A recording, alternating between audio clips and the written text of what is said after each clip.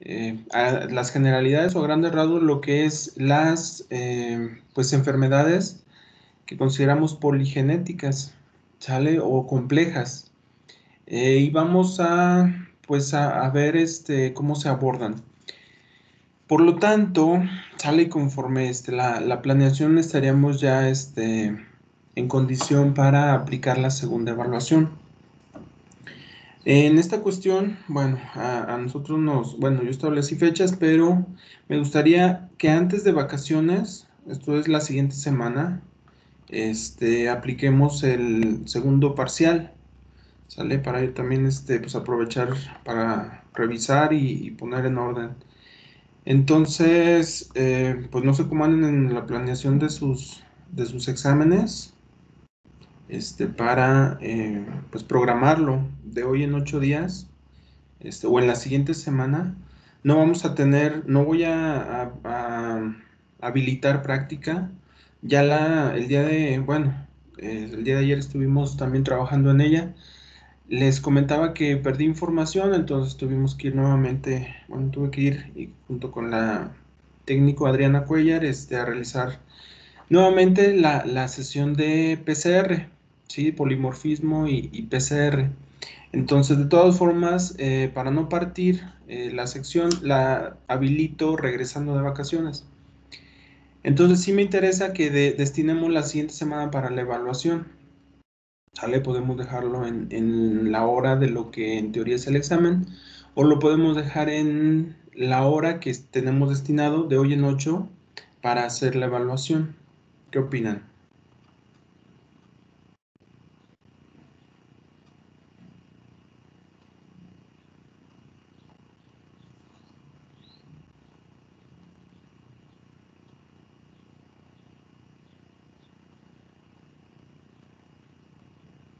¿Que sea en viernes?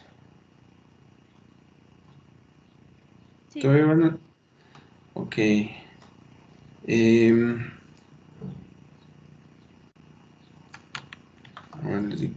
Entonces, eh, el, la evaluación comprende lo, lo, de lo que hablamos de diagnóstico. En la cuestión de, más bien, diagnóstico de, de agentes infecciosos, Sale y lo que estamos viendo, eh, lo que vimos la semana pasada de enfermedades monogenéticas y lo que vamos a ver el día de hoy de enfermedades eh, poligenéticas, ¿sale? Sale, entonces nada más para que lo agenden, ¿sale? Todavía no, no, se van a ir de vacaciones hasta que hagan su examen, este, dentro de ocho días, ¿sale? La hora yo creo que sería esta misma, ¿sí? A las 10, de 10 a 11, si ya no tendríamos clase, solamente la evaluación. Sale igual de una hora. Este, lo hicimos por aula virtual, ¿verdad?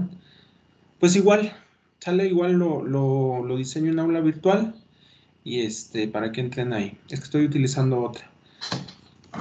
Eh, pero bueno, entonces, bueno, ya acordado eso, pues ahora sí pasamos a lo que es este, el tema y vamos a recordar un poquito.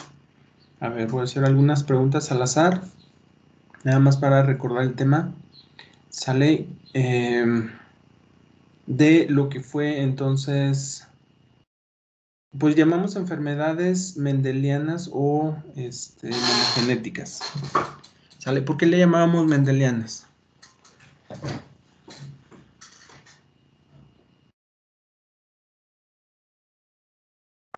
Porque quien lo descubrió fue bueno, Méndez. Gregor Méndez. ¿Las enfermedades?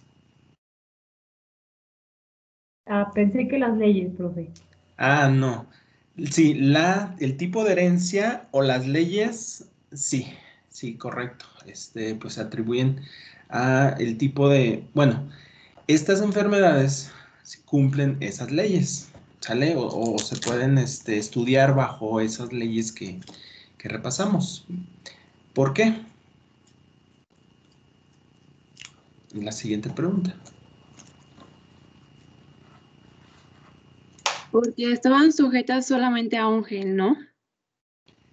Ok, sí, vimos que entonces estaba sujeta o era causante solamente un gen. ¿Sale? Cuando hablamos entonces de las leyes de Mendel, pues él no hablaba propiamente de enfermedades, sino de caracteres, ¿sí? Este, o fenotipos, en los cuales se podía, se podía basar este, para hacer o predecir este, cómo sería su distribución. ¿Sale? Hablamos entonces dentro de las leyes, este, bueno, en la primera ley, sí, hablamos de lo que era dominancia y recesividad. ¿Se acuerdan? Ah, bueno, ¿quién me dice qué es esto?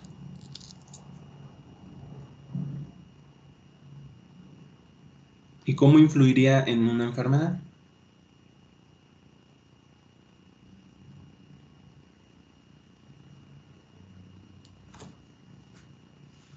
Pues en que si se expresa la enfermedad o no dependiendo, bueno, si es dominante, podría expresarse. Ok, ¿en qué condiciones consideramos que sea dominante? O le podríamos llamar así.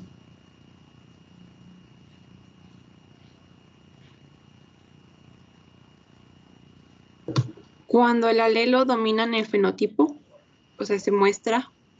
Mm, ok, ¿en cuántas copias entonces podría estar para que se presente?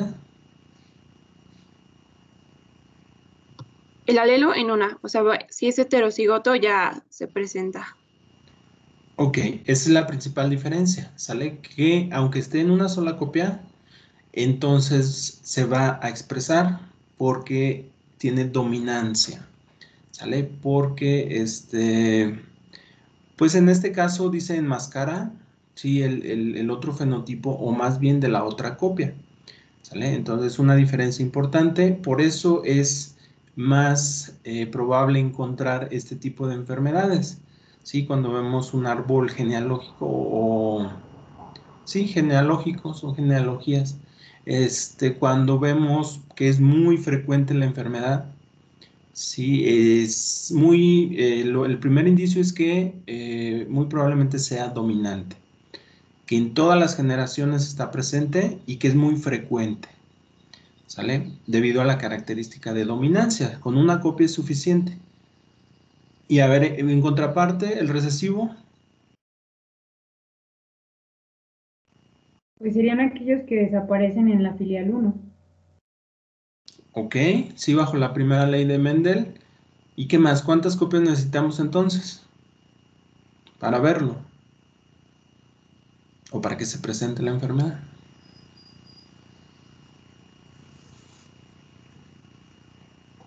Dos, que sea homocigoto recesivo. Así es. ¿Sale? Necesitamos que sea homocigoto, que tenga las dos copias para que se presente. ¿Sale? Si, la enfermedad es, es recesiva, sale con el otra, con la otra copia del, gen que no tenga este, esa modificación o esa predisposición, pues no se va a observar hasta que esté presente como homocigoto. Que se dé ahí por ahí la combinación eh, para que esté presente en el individuo como homocigoto, ¿sí? Entonces, ahí sí es necesario que las dos copias estén presentes como recesivo y es menos frecuente, ¿sale? Eh, analizando la primera ley, ¿en qué proporción estaba, por ejemplo, un fenotipo en recesivo, en la filial 2? En la 1 desaparece, pero si hacemos una, cruza de F1, ¿en qué proporción aparecía? En fenotipo. Ok, 3 a 1, siendo el 1 la condición en la cual se presenta, ¿sí? En recesivo. Entonces es menos frecuente, ¿sale? Entonces esas enfermedades eh, tienen menor eh, menor probabilidad, por así decirlo, de, presentarse, a menos que se favorezca, ¿sí? o que por, bueno, probabilidad y mala fortuna, las dos personas tengan eh, hay por ahí el, gen en recesivo, o que sean portadores, ¿sale? Y pues muchas veces no se, no se sabe, no se tiene, depende de la enfermedad, porque hay algunas que no afectan, eh, por ejemplo, la, permite que esté en recesivo, y permite al individuo, por ejemplo, llegar a la, a la fase adulta en la cual pues ya puede tener hijos, ¿sí? Y heredarlo. Hay enfermedades que, pues bueno, les digo, no va a permitir, ¿sí? Desgraciadamente en fases muy tempranas, pues se va, va a morir, ¿sí? Por esta condición, entonces depende, depende de qué enfermedad sea. Ok, entonces veíamos también los conceptos de, para que no se les olvide, ¿qué era el autosómico?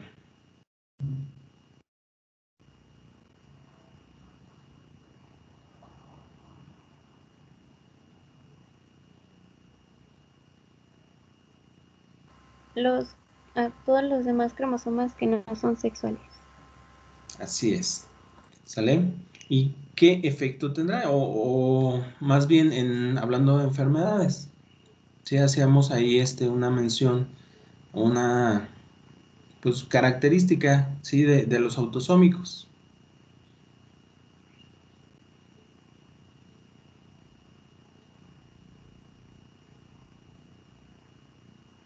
¿A quién afecta? ¿A hombres o a mujeres?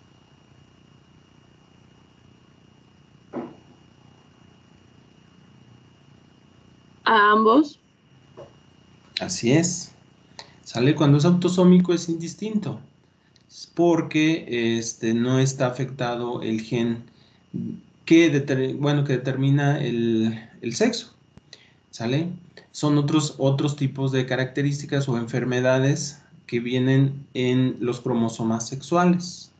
Entonces, ahí en este caso, pues es indistinto. Aparece en hombres o puede aparecer en hombres, en mujeres, ¿sí? Cuando la afectación está en uno de los cromosomas sexuales, depende si está en X o está en Y, ¿sale? Se va a afectar exclusivamente en hombres, ¿sí? Si está en X, si está en Y, perdón. O puede estar en ambos, ¿sí? En mujeres y en hombres si está en X, ¿ok? Porque tenemos eh, ambos el gen X. ¿Ok? Entonces, bueno, también eso es importante, pero eh, aquí el objetivo o el, la forma de abordar ¿sí? este tipo de problemas, les decía que es un poco más simple, por la cuestión de que pues, se debe un solo gen. ¿Sale? En teoría, ¿sí? Este, no olviden que hay de todas formas interacciones, pero eh, pues se atribuye directamente al cambio en un, eh, pues una región, ¿sí? en un gen que codifica algo, una enzima, algún producto metabólico, etcétera, que este, nos lleva a ese problema. ¿Ok? Entonces, en teoría, el diagnóstico sería un poco más sencillo y posiblemente también la solución, si quisiéramos verlo así, ¿sí? terapia génica aborda ese, ese problema, ¿sí? Cómo, cómo editar, cómo, cómo, pues quitar ese gen que está, que está dañado, que trae problemas, por una versión o por la versión que funciona de forma adecuada. ¿Sale? Entonces, sería más sencillo dirigir, dirigir este, una edición o un cambio solamente a un gen o a unos pocos nucleótidos. Sale uno o dos. Entonces, en teoría, ¿sí? En teoría este sería más, más sencillo el, el tratamiento, la forma de solucionarlo. Que bueno, en la realidad sabemos que no es tan sencillo, ¿sí? Pero sí se ha avanzado mucho. De hecho, con lo que es ya la edición de, pues, de genes, ¿sí? Del DNA. Eh, bueno, vamos a ver entonces en contraparte, sí, lo que son las enfermedades poligénicas. Mencionábamos entonces los caracteres, sí, este, bueno, enfermedades complejas.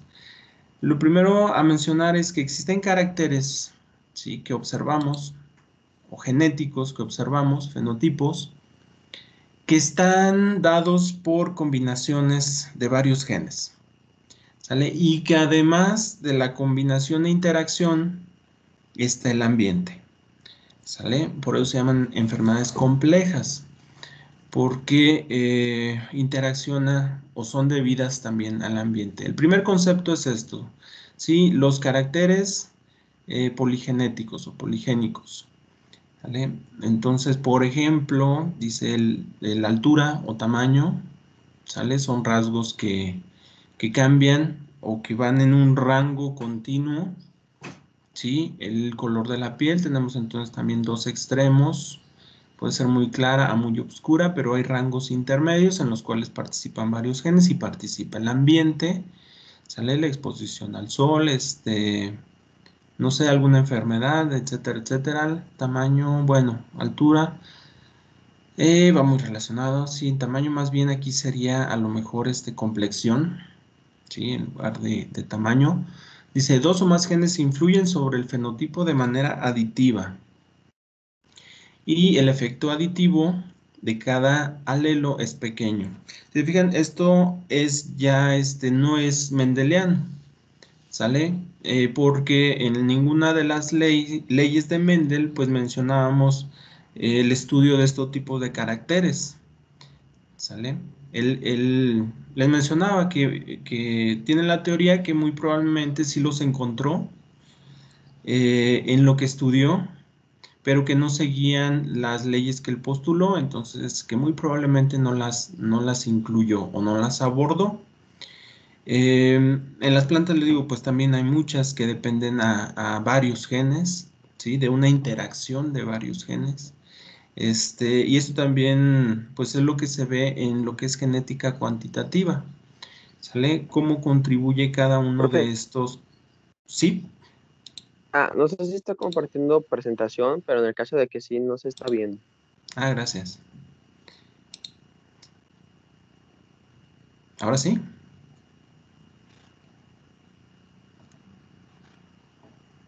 Sí, ¿verdad? Sí, ya. Ok, gracias. Eh, bueno, eh, nada más es esta misma diapositiva de las que les estaba hablando, ¿sí? De algunas características que no son mendelianas, ¿sí? Que no siguen las leyes de Mendel debido a que, pues no son independientes, ¿sale? Que son caracteres, eh, esa era una de las características, la segunda ley nos hablaba de la segregación independiente, ¿sí? Que eran caracteres que, que no tenían relación, ¿sí? Que no influían uno con el otro, pues en esta otra parte está todo lo que no es mendeliano, ¿sale? En donde sí hay interacción, en donde cada uno de los genes y qué tipo de genes tengan cuenta en el fenotipo. Eh, no sé si recuerdan el término de epistasis, ¿sí? En genética se ve, se ve un, apartado, ¿sí? De tipos de epistasis. Eh, ¿Y a qué se debía? No los vamos a repasar, ¿sale? Porque ahí sí nos llevaríamos más tiempo. ¿Pero a qué se debía ese término? ¿Sí? ¿O a qué, o a qué este... Bueno, primero recuérdenme si saben este, o recuerdan el término de epistasis. Sí, era como sobre los genes, ¿no? Ok. Mm, sí, a ver, ¿qué más información se acuerdan de eso? Que un gen complementa la información de otro gen. Bueno, la expresión, no, no me acuerdo bien. Mm, ok, ok.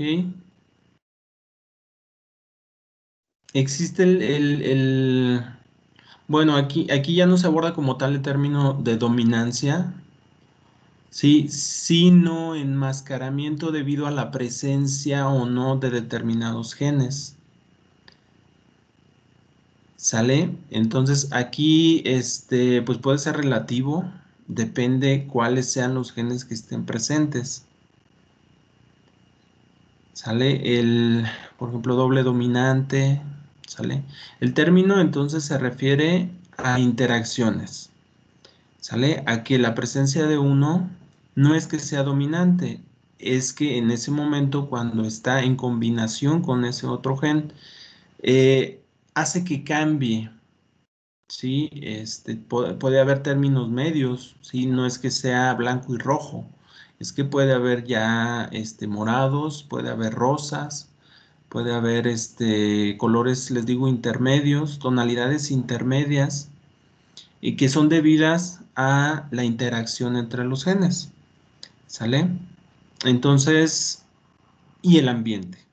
Falta incluir, aunque ahí no se menciona cuando mencionamos epistasis, Epistasis va muy, muy este, enfocado a cuáles son los genes que están presentes, ¿sale? Si son dos dominantes, que le dice doble dominante o doble recesivo, este, y en qué condiciones. Pero ahí se tiene que estudiar o se tiene que ver ese, cuál es la combinación que está presente para determinar el fenotipo, porque hay interacción, no es independiente, ahí están ligados, ¿sí? Son fenotipos entonces ligados a varios genes.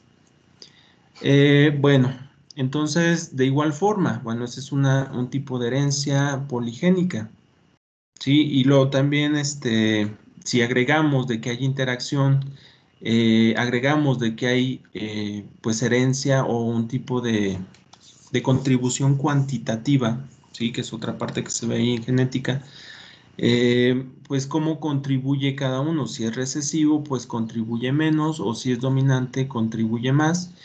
Y pues empieza a complicar el asunto, ¿no? Viendo este, la influencia este, de las interacciones. Eh, cuando se estudia, por ejemplo, ¿sí? este epistasis, pues hay que considerar cuántas copias también hay de, esos genes. Eh, es un poquito pues, más complejo porque hay muchos genes, ¿sí? muchas veces los visualizamos como una unidad individual que tiene una función y no es así. Sale la realidad es que hay genes que están duplicados y que contribuyen y son funcionales. ¿Sale? Entonces, un gen puede estar duplicado en varios cromosomas. ¿sí? Si quisiéramos ver un efecto, generalmente para ver efectos este, y entender cómo funcionan los genes, pues la herramienta que tenemos es la, la mutación, ¿sí? o la deleción de ese gen y ver qué pasa. ¿Sale? Y pues bueno, en el otro tipo de herencia, pues les digo, es más sencillo porque tenemos un solo gen y tenemos una respuesta. Aquí no, ¿sale? Aquí cuando hay varios genes, este, habría que ver cómo se comporta cuando vamos quitando, a lo mejor supongan que hay tres copias, dos copias o cuatro copias de, un solo gen, ¿sale? Entonces tendríamos que ver, si queremos ver, esto pasa mucho en plantas, este, si queremos ver un efecto eh, o función de uno de estos genes, hay que borrar o hay que deletar del genoma las cuatro copias. ¿Sale? Porque eh, algunas compensan, y es otro estudio también bien extenso, ver si hay compensación. Si cuando falta uno, las otras tres compensan, o si faltan dos, este, las otras dos compensan, o si con una es suficiente. Entonces se vuelve también un poco más complejo el estudio. Sí, se pueden generar hasta mutantes cuádruples, ¿sí? si es que este, tiene varias copias de esta versión del gen. Entonces, pues aquí ya juegan muchas variables, ¿no? Las que les estoy mencionando, este, interacción, ambiente, el número de genes, este, cómo funcionan, ¿sí? Que nos habla de la regulación, y de la dosis que necesita para tener el, efecto. ¿Sale? Entonces, pues hay muchas, muchas combinaciones y variables que hay que considerar para ver a este, entonces, o considerar una enfermedad de este tipo. Decía, bueno, aquí menciona que el efecto es aditivo de cada alelo, sí, era lo que les decía. Eh, cada alelo contribuye, a lo mejor uno, si es dominante, contribuye más, o si es recesivo, o se puede considerar como recesivo, este, es menor la contribución, ¿sí? Por ejemplo, en el color de ojos, ¿sí? Este, o cualquiera de los factores que, que se deben a varios genes. Dice, los factores ambientales condicionan el fenotipo de forma que su interacción con los genotipos genera un rango de fenotipos. ¿Sale? Es, esto es muy importante ¿sí? Para considerar este, cuando hacemos o quisiéramos, por ejemplo, este, hacer una edición, ¿no? A lo mejor no en personas, a lo mejor en, otros microorganismos o en plantas, este, en el que quisiéramos modificar o quisiéramos este, cambiar un carácter, eh, no sé, puede ser color de una flor, puede ser tamaño de una fruta, puede ser vigor de la planta o resistencia al ambiente, ¿Sale? Pues entonces hay que considerar que el fenotipo está dado por la interacción entre el genotipo y el ambiente.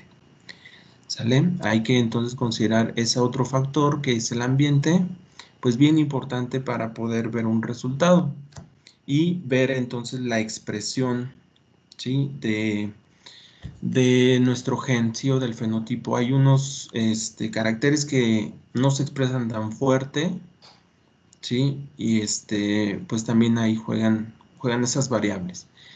Dice, el análisis de los caracteres poligénicos requiere del estudio de un gran número de individuos. ¿Sale?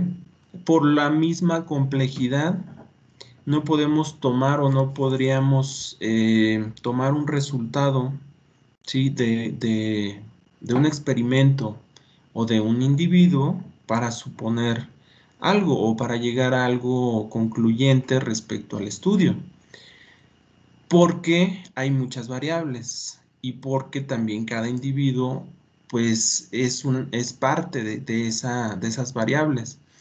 Entonces, generalmente, sí, aquí ya se menciona algo importante para el estudio, es que no, no se concluye en base a un individuo, ¿sí? Se tiene que hacer entonces una tendencia, ¿sí? Un, algo más grande a nivel de población o de región, ¿sí? o de país, o de continente, ¿sí? o de etnia, no sé, este, sale para llegar a, algo, alguna propuesta, no con, y sigue siendo sin, sin bueno, eh, en este caso sin ser concluyente, ¿sí? Se tiene una idea, se tiene una hipótesis que se tendría que comprobar este, con otra población, por ejemplo, ¿sale? Entonces, bueno, aquí lo que vemos es este, en diagrama, esto que estamos platicando, si ya se los había enseñado, bueno, mencionado estos tipos de, enfermedades, creo que también mencionamos la diferencia entre diabetes tipo 1, tipo 2, ¿sale? Que pues propiamente a lo mejor este, la tipo 1 podría ser o se podría considerar a lo mejor como una enfermedad monogenética, Sí, este, no sé mucho a detalle del tema, pero es, es meramente por este, una enfermedad anti, sí, autoinmune, autoinmune, perdón. Y en este otro caso de diabetes mellitus, pues aquí sí juegan más, más este, variables. Sale la predisposición que tengamos, la dieta que llevemos, y el sedentarismo, la condición, este, y el ambiente también, muchas veces este, el estrés, aunque no lo consideramos, es un factor importante, ¿sí? Para detonar algunos, algunas enfermedades. Eh, el ambiente también en cuestión de, eh, de, partículas o de agentes químicos o este, eh, tóxicos que pudieran intervenir y contribuir al, al desencadenamiento de la enfermedad. Entonces aquí estamos en este punto. Enfermedades complejas, entonces parte es la carga genética, parte es el ambiente, ¿sí? Meramente dice una enfermedad o algo, dice accidente de tráfico o heridas de arma. Esto es meramente externo. Sale cáncer de pulmón asociado al tabaco. Sí, pues a en cuestión de, que se, de que se estuvo expuesto mucho tiempo y a altas dosis, pues a este, a este can, bueno, a este tipo de sustancia, ¿sale? Se puede entonces observar esa enfermedad. ¿Sí? Y acá, pues bueno, es exclusivamente las monogenéticas, ¿sale? No interviene el ambiente, con que se tenga el gen, pues es muy probable que va a presentar la enfermedad. ¿Sale? Y aquí en fase pues ya un poco intermedia dice cáncer de mama asociado a las mutaciones BRCA1. ¿Ok? Estas las vamos a mencionar un poco más adelante en la siguiente unidad. Pero sí, sí tiene una fuerte este, influencia genética, ¿sí? Pero ya también aquí empieza este, a estar presente algo del ambiente. Entonces estamos en este punto intermedio, enfermedades complejas, pues interacción entre genes y ambiente. ¿Ok? Y como se puede ver, pues se complica como tal el cómo abordarlas, ¿no? cómo estudiarlas. Por eso sigue siendo todavía este, varios de los problemas que en la, actualidad seguimos padeciendo.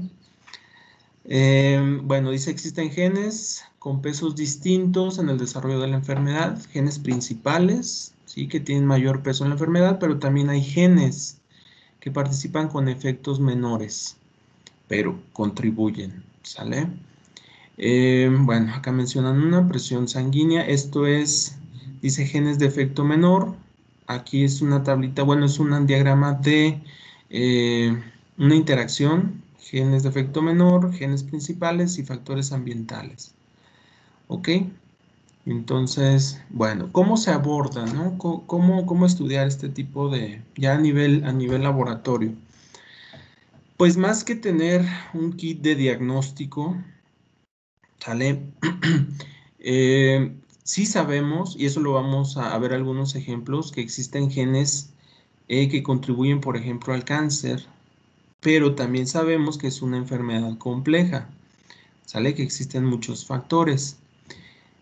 Entonces, bueno, vamos a ver un ejemplo, no tanto, les digo, no tanto enfocado a, hacer un diagnóstico, sino más bien un estudio, ¿sí? Un estudio que nos lleve a, tener un poco más de información eh, o de luz, ¿sí? De, cómo podríamos, ¿sí? Abordarla o estudiarla, eh, pues a nivel población, ¿sale? Entonces dice, el valor predictivo basado en una sola variante genética no es informativo. Necesitamos más información. La predicción de enfermedades complejas debe implicar el análisis simultáneo de múltiples los. Ok, a ver, ¿se acuerdan que era un LOSI?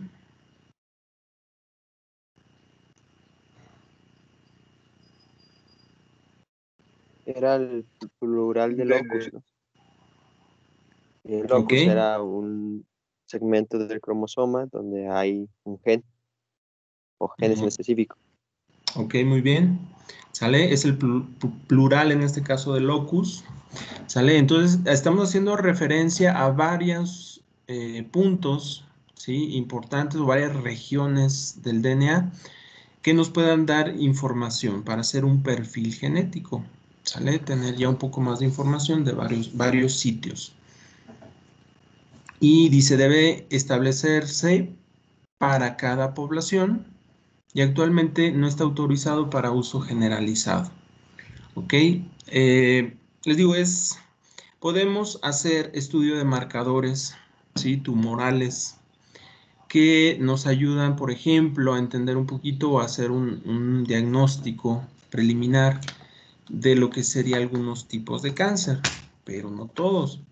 Sea, hay algunos tipos que, pues bueno, no, no tenemos un kit como tal, una herramienta establecida. Los este, análisis de las regiones que deberíamos de estudiar o analizar para, para eh, predecir si se va a presentar o no. Entonces dice, se debe de hacer por, para cada población y actualmente no está autorizado para uso generalizado.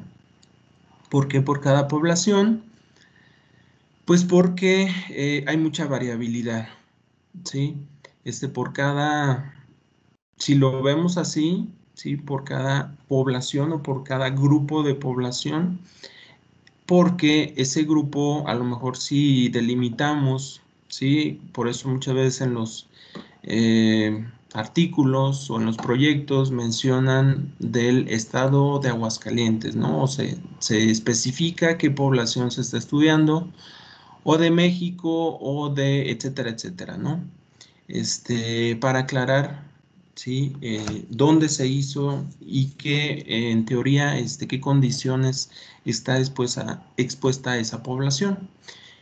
Y el hecho de que encontremos algo en esta población no se puede extrapolar entonces directamente para lo, no sé, el de otro estado, el de otra etnia, y sobre todo en México, que varía mucho desde el norte, centro, sur, sí que hay, este, pues tenemos mucha variación, variabilidad en lo que es la población.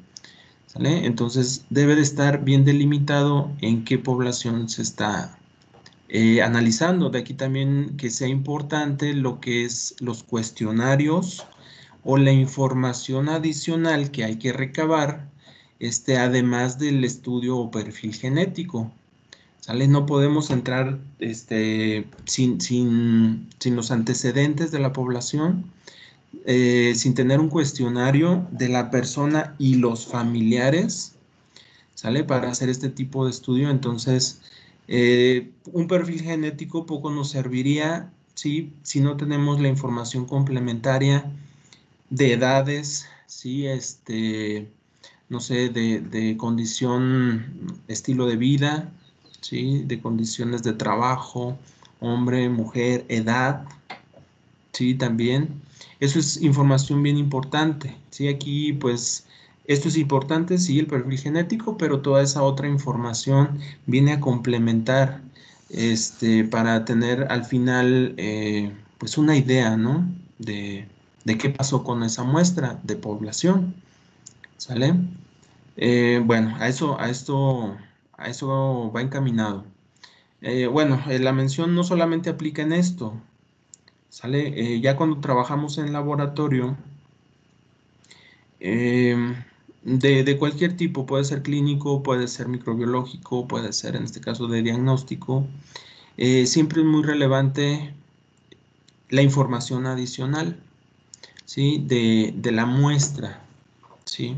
Este, por ejemplo, no sé, que se tomó una muestra en la región este, norte del estado, este, puntualizar bien em, el lugar, por ejemplo, ¿sí? el día, los datos adicionales, ¿sí? la hora, en qué condiciones y cómo se hizo. Eh, porque eso viene entonces a darle muchas veces la explicación como analista, ¿sí? como análisis de la información que se está generando en el laboratorio, muchas veces ayuda a explicar el por qué salió la muestra así, si es válida o no. Ok, bueno, entonces, eh, esto como ejemplo, ¿sale? Es, dice, un proyecto de haplotipos, ¿sí? A nivel mundial, pues es un intento, ¿sí? Internacional para entender mejor estos tipos de enfermedades. Les digo esto como ejemplo de cómo abordarlo. Seguramente, este, pues hay más, pero eh, por la complejidad del diagnóstico, pues sería una estrategia similar. Entonces, primero, que es un haplotipo? Sí, el proyecto se llama HapMap. De hecho, es de, podemos, podemos entrar, podemos, este, de hecho, contribuir, ¿sí? A la generación de información. Bueno, el haplotipo ¿sí? es un conjunto de alelos de SNP que son eh, polimorfismos de, una sola, de un solo nucleótido. ¿sí? Es el cambio de una base. ¿sí? Pero es un conjunto de alelos. ¿Sale? Entonces, eh, son los polimorfismos o las versiones que tenemos cuando cambia una, una sola base, asociada en una región de un cromosoma. ¿Ok? Entonces, bueno, así definimos haplotipo y dice que es la creación de un mapa de haplotipos del genoma humano. ¿Sale? No sé si queda claro de qué estamos hablando aquí. Cuando decimos haplotipo ya hablamos de varios alelos, pero cuando decimos un mapa de haplotipos, estamos hablando de varios alelos o de todos los alelos que encontremos, el cambio de esta base en regiones o en el genoma humano. ¿Sale? ¿Sí se entiende?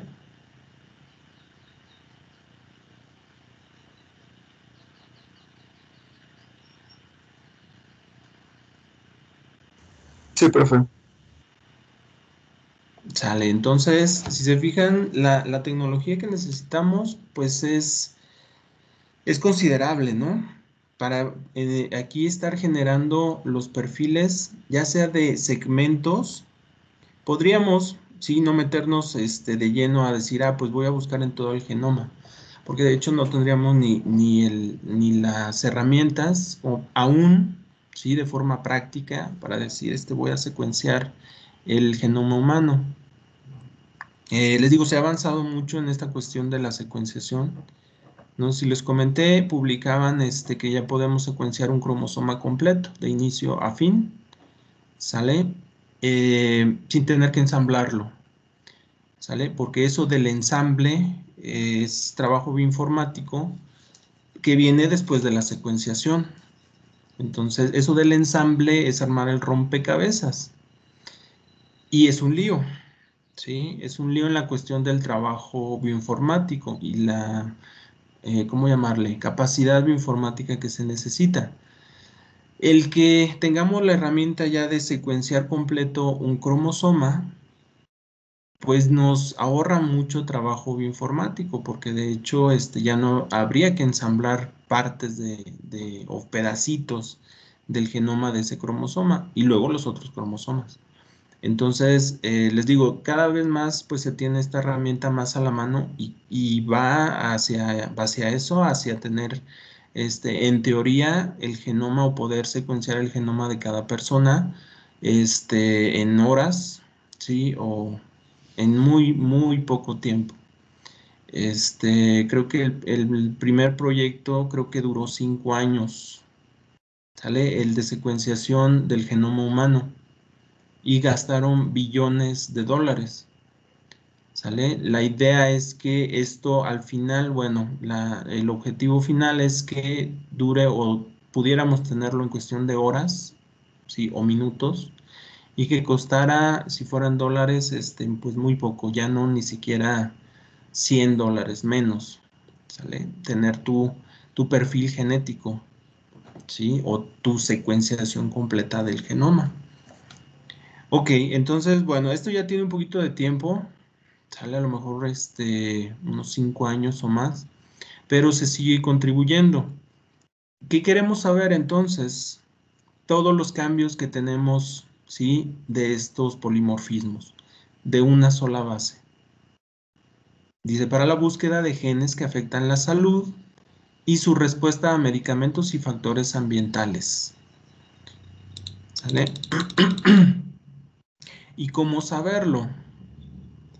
Pues muestreando eh, no solamente a las personas que, por ejemplo, presentan problemas de salud, ¿sí? Sino que se tiene que hacer un eh, pues muestreo de toda la población.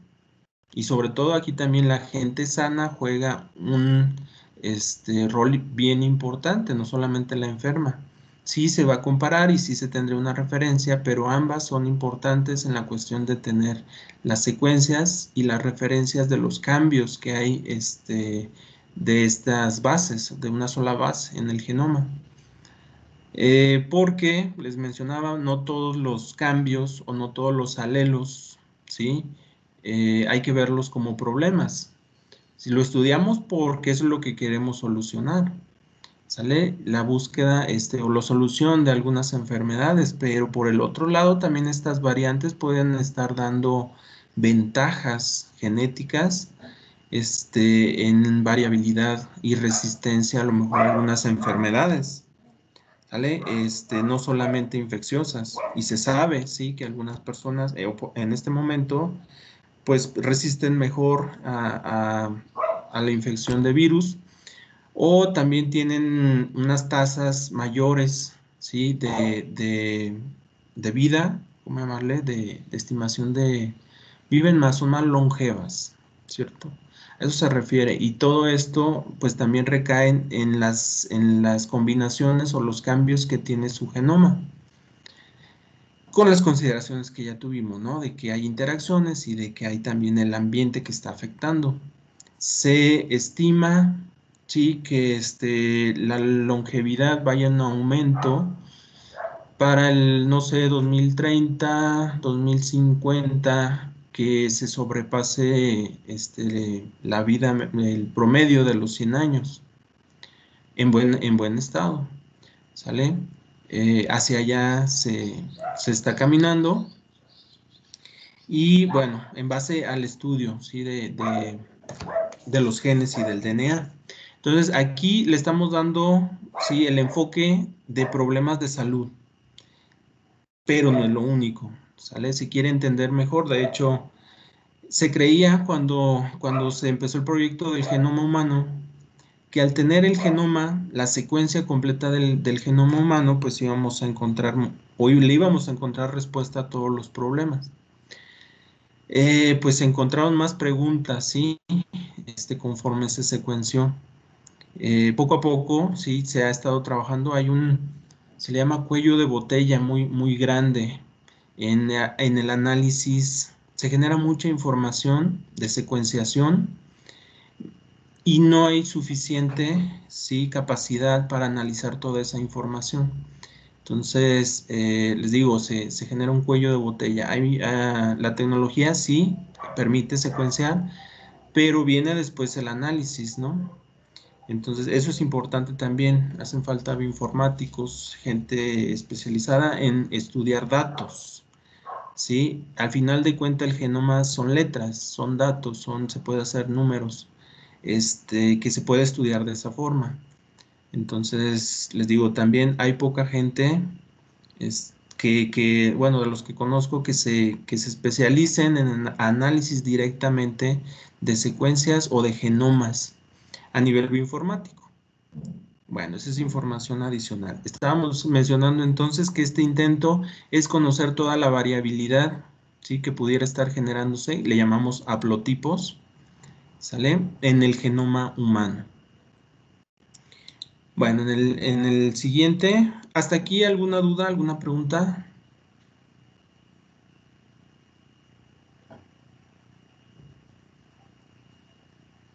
Me dijeron que apenas van a llevar bioinformática, ¿cierto? ¿O ya llevaron? ¿O están llevando? No, pues apenas.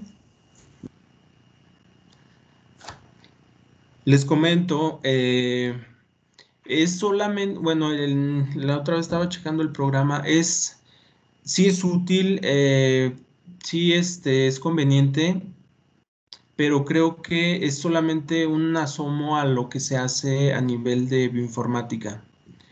¿Sale? El, pues bueno, analizar ya genomas, sí, alinearlos, este, hacer filogenias, sí, árboles filogenéticos. Este es un asomo a lo, a lo que se puede hacer con, a nivel de bioinformático. ¿Sale? Y también mucho es aprender lenguajes de programación. ¿Sale? Que también creo que falta, falta este, em, pues fortalecer esa área en, la carrera.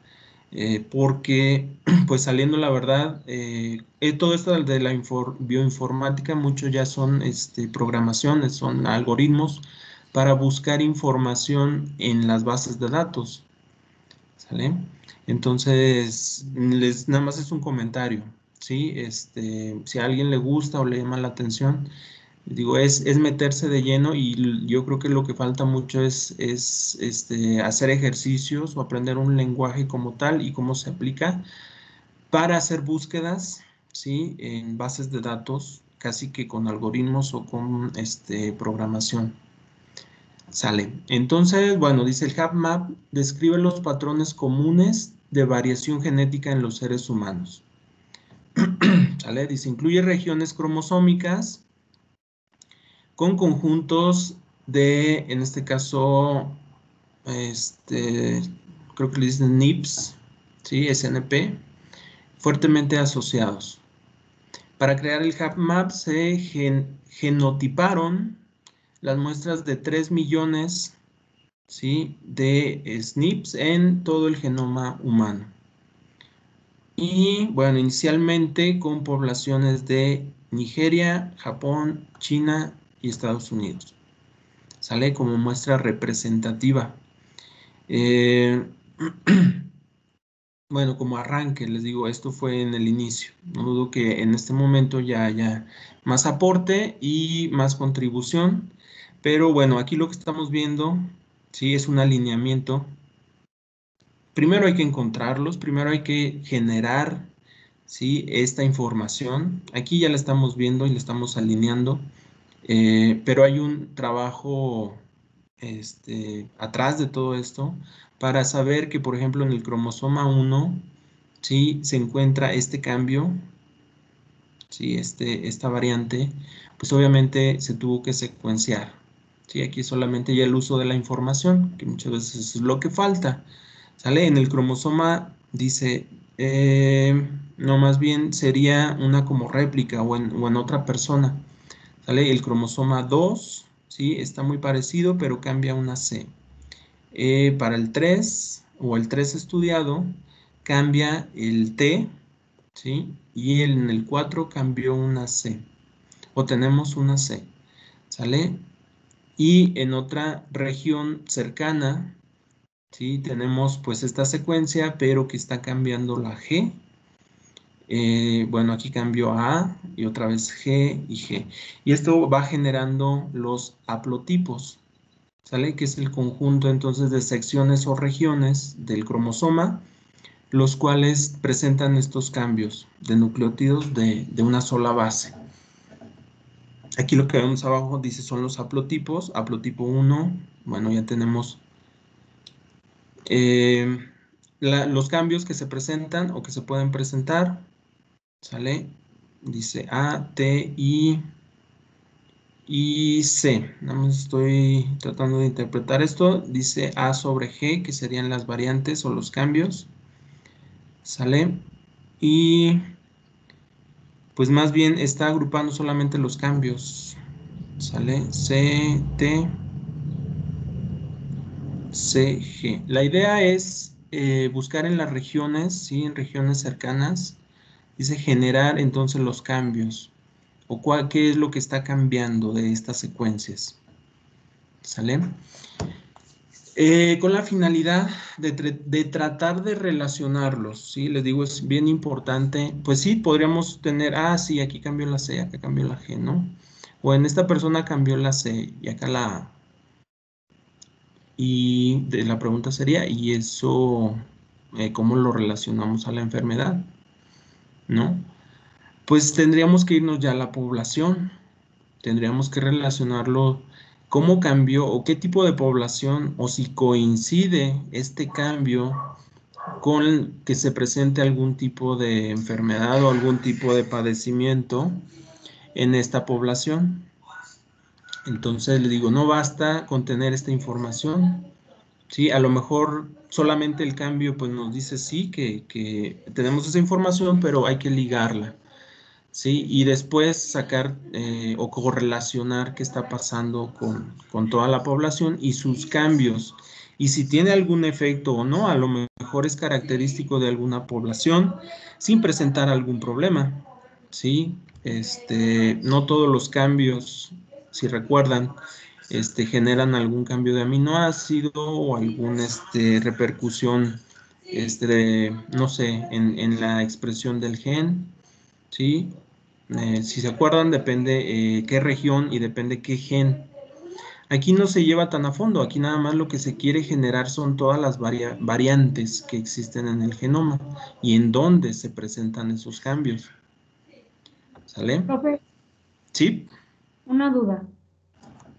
¿Existen estas bases de datos de HapMap eh, al público? O sea, para que, por ejemplo, los países puedan encontrar estas bases de datos y ahora sí que basarse en ellas y pues estudiarlas, porque pues podría ser de mucha ayuda en, o sea, mundialmente.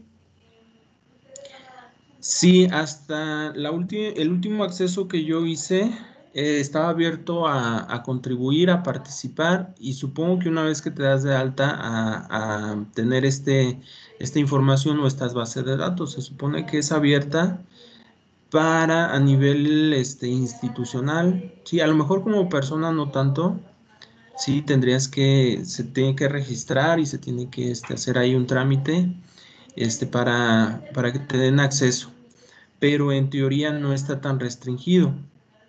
¿Sale? Sí tienes que, que demostrar, no sé, que, que, perteneces, no sé, a una institución o alguna, este, pues, eh, que el uso, ¿no? Que le vas a dar sobre todo eso, para qué lo quieres utilizar, si vas a contribuir, si quieres estudiar a este, alguna enfermedad. Eh, les digo, es complicado, a lo mejor algún, algún investigador se enfoca en alguna enfermedad muy particular. De hecho, esto sí es como resultado final.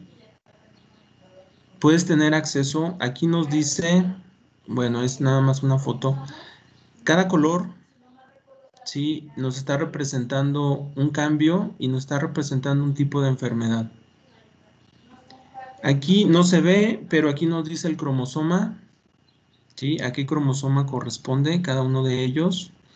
Y podíamos ver la variación y podíamos ver a qué tipo de enfermedad está asociada. ¿Cómo se genera? Pues con investigación, ¿sale?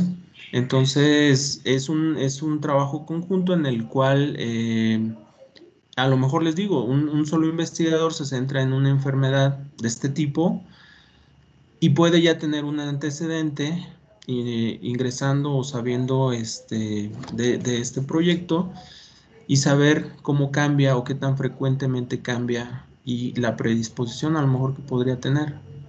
¿Sale? Se, era interactivo, no sé si todavía siga de esta forma. En cada confeti, ¿sale? Podíamos este, ver a qué, a qué correspondía en cuestión de cambio y en cuestión de enfermedad asociada. ¿Sale? Por cromosoma, podíamos este, irnos por cada uno y estar viendo en qué posición es el cambio y nos daba todos los detalles o te puede dar todos los detalles en concreto, pero sí, en teoría este, es de acceso, pues sí restringido, pero para el personal que lo necesita. ¿Sale? No cualquiera este, también puede eh, ingresar y bajar la información. Sí, profe, muchas gracias. Muy bien, entonces solamente para redondear este, esta información, em, bueno, estábamos hablando de los haplotipos. Aquí ya menciono un poquito más de información. Dice estudio de asociación del genoma completo, análisis de 500.000 a 100.000, este, lo que serían este, SNPs, ¿sí? o cambios polimórficos. Y por ejemplo, si aquí nos dice casos diabéticos, controles no diabéticos. ¿Sale? Y eh, pues se analiza ya no una, región en, específico. Aquí nos muestra una sección, ¿sale? Una sección este, en la cual se ha visto variabilidad. A ver, déjenme ver si no está movido. Sí, se me es que está movido. Este, aquí estaríamos, por ejemplo, comparando ¿Sale? Hay cambios. Si se fijan aquí en negro, si nos pone este, lo que, los cambios que encuentra. Pero, por ejemplo, nos dice que se ha visto principalmente, dicen diabéticos. Por ejemplo, esta sección está un poquito movido, es CAC. Acá ACC. ¿Sale? Y que nos dice que son NIPS asociados eh, a lo que sería, por ejemplo, diabetes. Ok, entonces esto como ejemplo también.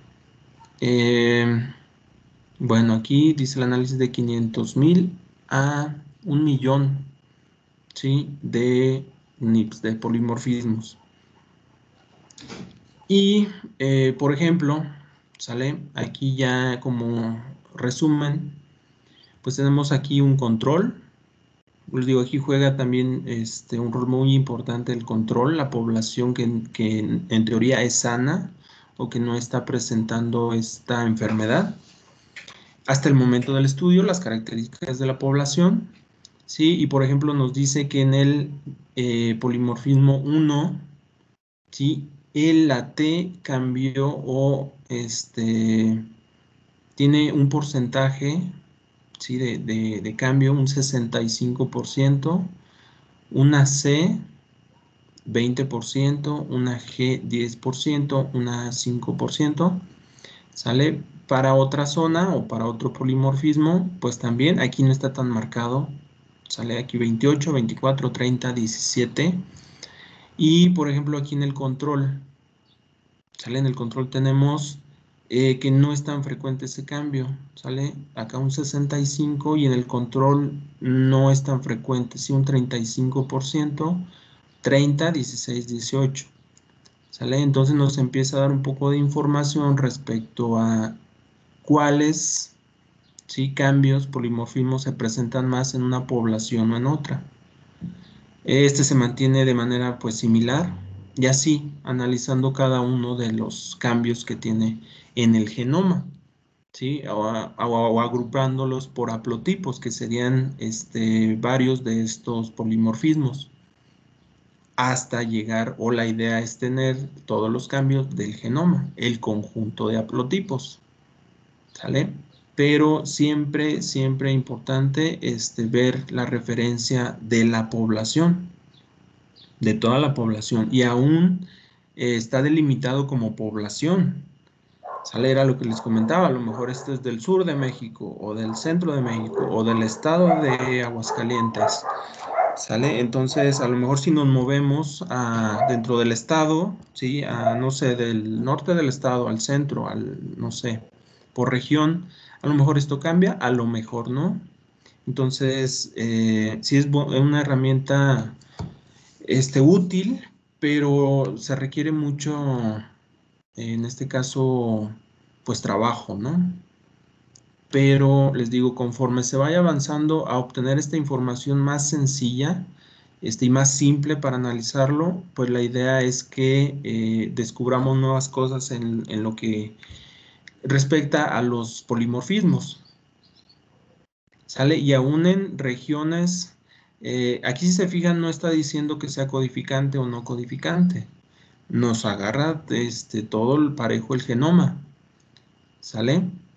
Eh, porque, no sé si con ustedes lo platicábamos, eh, en la cuestión de que puede haber polimorfismos en los este, factores que regulan, por ejemplo, la transcripción. Recordando un poquito, hablábamos, si se acuerdan, de los promotores, que, es el DNA o la región del DNA, el, del DNA que, es el responsable de la expresión genética del gen. ¿Sí se acuerdan de eso? Sí. Y que esa región es reconocida por factores, ¿sí? Factores de inicio, por ejemplo, de la transcripción. Pues se ha encontrado también polimorfismos en las secciones que codifican a esos factores de transcripción. ¿Sale?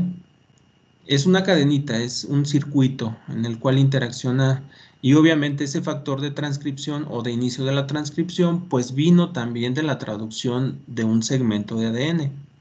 Entonces se ha visto también este, algunas enfermedades relacionadas a los polimorfismos de los factores no de las regiones promotoras o no del cuerpo del gen, sino de los este, elementos adicionales o complementarios para que se transcriba un gen. Entonces, bueno, ese es otro, otro adicional, pero igual de la misma forma se estaría encontrando o se podría encontrar si analizamos todo el genoma sin distinguir eh, propiamente, eh, por ejemplo, secciones codificantes o no codificantes. ¿Sale? Haciendo el análisis completo, pues también ahí aparecerían esos cambios.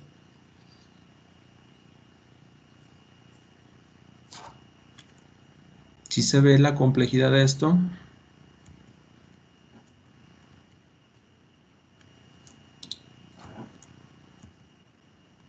Sí.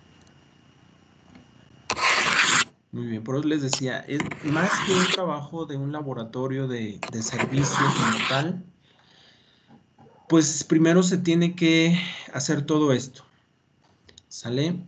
Para después, sí, probablemente después o en algún momento, este, buscar eh, algún cambio, ¿sí? Saber qué, qué es más frecuente en esa población, qué regiones, irnos a buscar esas regiones directamente, ya sin hacer tanto trabajo de fondo, o lo que llamamos conocimiento básico, esto es experimentos de ciencia básica, se le llama, no aplicadas, para que en algún momento a alguien le sea útil o se obtenga una herramienta para ir directamente o buscar directamente, ¿sí? de manera más sencilla en un laboratorio, eh, algunos cambios, ¿no?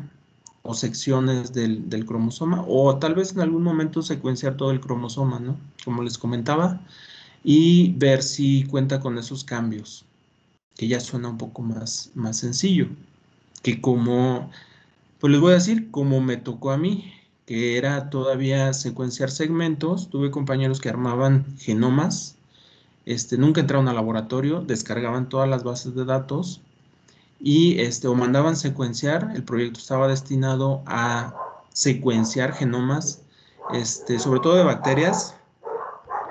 Se entregaba la información, sí, este, y el trabajo de doctorado era ensamblar el genoma. Eh, y les digo, eh, me tocó platicar con ellos y sí se requiere, es como un rompecabezas, pero mucho se hace con, con programación, ¿sí? con la ayuda de, de computas, computadoras, sobre todo rápidas, no es una de escritorio, ¿sale? Es, son centros, son laboratorios con, con mucha capacidad, ¿sí? Este, también, eh, si queremos hacer un árbol filogenético sencillo, pues nos basta una computadora, pero para hacer un ensamble, ya de genomas, al menos hace cuatro años, tres años, se necesitaba un laboratorio especial con, computadoras rápidas o con la capacidad para hacer todo este análisis de ensamble, de un genoma. Entonces, pues poco a poco vamos avanzando, ¿vale? Y pues bueno, hasta ahí, ¿sí? Con lo que respecta al estudio de lo que son enfermedades complejas o que son eh, debidas a varios factores, varios genes, interacción de varios genes. Necesitamos el panorama completo y necesitamos una población ¿sí? significativa o lo suficientemente grande para obtener información este, significativa. ¿Sale?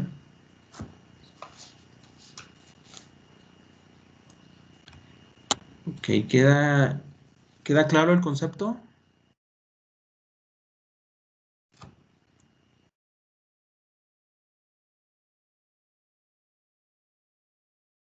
Sí, profe, sí queda claro. Muy bien. Bueno, pues hasta aquí. Hoy estuvo más cortito. Hasta aquí le vamos a dejar. Sí, hasta aquí estaremos concluyendo este, la información. Eh, ya empezamos, pues regresando de vacaciones, sí, con, otro tema. Va enfocado un poquito más a, marcadores, sí, marcadores biológicos, para terminar hablando de marcadores tumorales. Eh, pero bueno, les digo, eso ya, ya no abrimos tema ahorita, lo, empezamos a, revisar regresando. Hasta aquí, ¿vamos bien?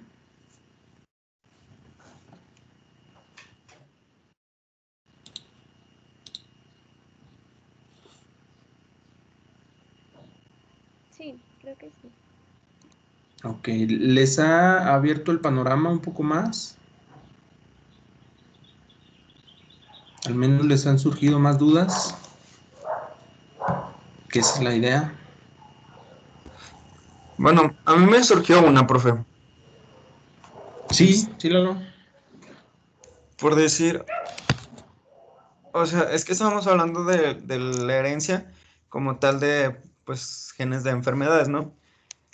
Este, me preguntaba si no habría como un mecanismo del mismo cuerpo para inhibir esos genes. O sea, a pesar de que tengas todas las condiciones para que ese gen se exprese, que el mismo cuerpo se tenga como una especie de inhibición a esos genes. Mm, más que de inhibición, bueno, de lo que de lo que he leído, se supone que cuando se está desarrollando lo que es el, el sistema inmune, eh, hay como, un, como una hay ¿cómo llamarle? Como enseñanza, como una capacitación, por así decirle, ¿sí? De lo que debe reconocer este como propio y que no causa problemas y de lo que sí puede causar problemas. Eso yo creo que sería un, primer nivel de, de protección ¿sí? hacia problemas que se podrían generar a lo mejor a nivel ya de proteína. ¿Sí? cuando se está expresando. Porque, eh, bueno, muchos problemas autoinmunes vienen de, fallos en, en, esa como adiestramiento que tiene el sistema inmune, ¿sí? Para que todo lo que tenemos, este, no, en este caso proteínas, sí, tejidos, este, enzimas, todo, todo, todo, sea conservado y sea reconocido como, como normal. ¿Sale? Entonces, eh, a nivel genético, pues tenemos también eh, diferentes niveles de, de, control de calidad, ¿sí? A nivel genético, mucho, mucho es en, en la integridad del DNA, ¿sí? Este, vemos que algunas enzimas verifican, por ejemplo, en el ciclo celular, este, que no haya pérdida en la, en la integridad del, del DNA, que no hay rupturas, que no hay daños, este, y si no se lleva la célula a muerte programada. ¿Sale? Ese es también otro nivel, a nivel genético, que no hay, no hay problemas. También hay reparaciones, este, cuando no checan las, las, las bases, sí que hay errores en las replicaciones, o este, se generó algún problema de, este, de apareamiento no correcto, ¿sí? no complementario. También hay enzimas de corrección, y hay mecanismos también, se llama uno de SOS, para rescatar cuando hay, por ejemplo, rupturas de fragmentos del DNA. Entonces sí tenemos varios niveles de, mantener la, integridad y de no llevarnos a, pues propiamente una enfermedad. Eh, pues sobre todo generada en las hereditarias, pues ahí hay, es un poquito más, lo veo un poquito más complicado debido a que no, de que es una interacción y que evolutivamente se ha dado poco a poco. Sí, te digo, generalmente no afectan al menos la, etapa reproductiva de la persona, porque si no, de hecho, no existiría, ¿sí? Porque eh, si es en fases tempranas, pues se muere la persona. Entonces, muchas de estas enfermedades permiten la, reproducción, permiten la, descendencia y permiten que se sigan este, perpetuando o que se sigan manteniendo estos cambios. Eh, es, un, es uno de los principios de, pues, de, la evolución, ¿sí? que llevó el tiempo necesario y que permite además perpetuarse y permite fijarse ese cambio este, debido a que sí presenta problemas, pero no tan severos y tan agudos como puede ser, este, bueno, hay diferentes tipos de enfermedades.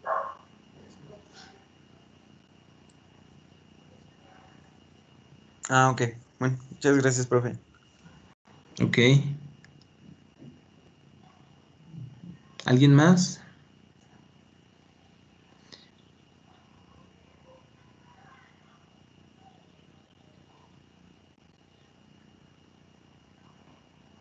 Muy bien, si no hay más dudas, este, bueno, en este momento, eh, hasta aquí le vamos a dejar. ¿Sale? Nos vemos todavía la siguiente semana. Mm, bueno, nada más para el examen. ¿Sale? Eh, les paso esta parte de, la presentación, igual en un PDF, nada más para que tengan, si se fijan, mucho es platicado. Si no, si, si no escuchan la, la, explicación de lo que les estoy poniendo, pues a lo mejor no entienden toda la diapositiva. Muchas son imágenes, ¿sí? Este, pero al menos para que, para que la recuerden y bueno, se está grabando también este, las sesiones, ¿ok?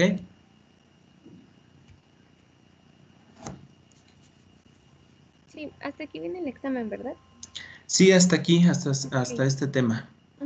Gracias. ¿Solo va a ser lo de la clase pasada y está? No, no, no. Este, falta lo que vimos de cuantificación, bueno, de, cómo abordar el diagnóstico de, de agentes infecciosos. Ah, y la, parte de enfermedades monogenéticas y esta parte de enfermedades este, complejas. Recuérdenme, eso no se los pasé, lo de, de infecciones o agentes infecciosos.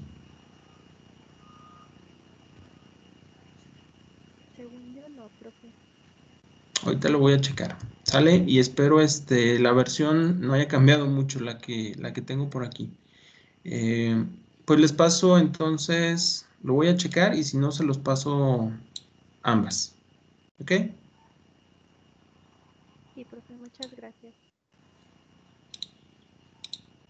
Sale, muy bien. Pues cualquier cosa me avisan. Sale, pasen buen fin de semana y todavía nos vemos la siguiente. Gracias, profe, igualmente. Hasta luego, gracias, profe. Hasta luego, que estén bien.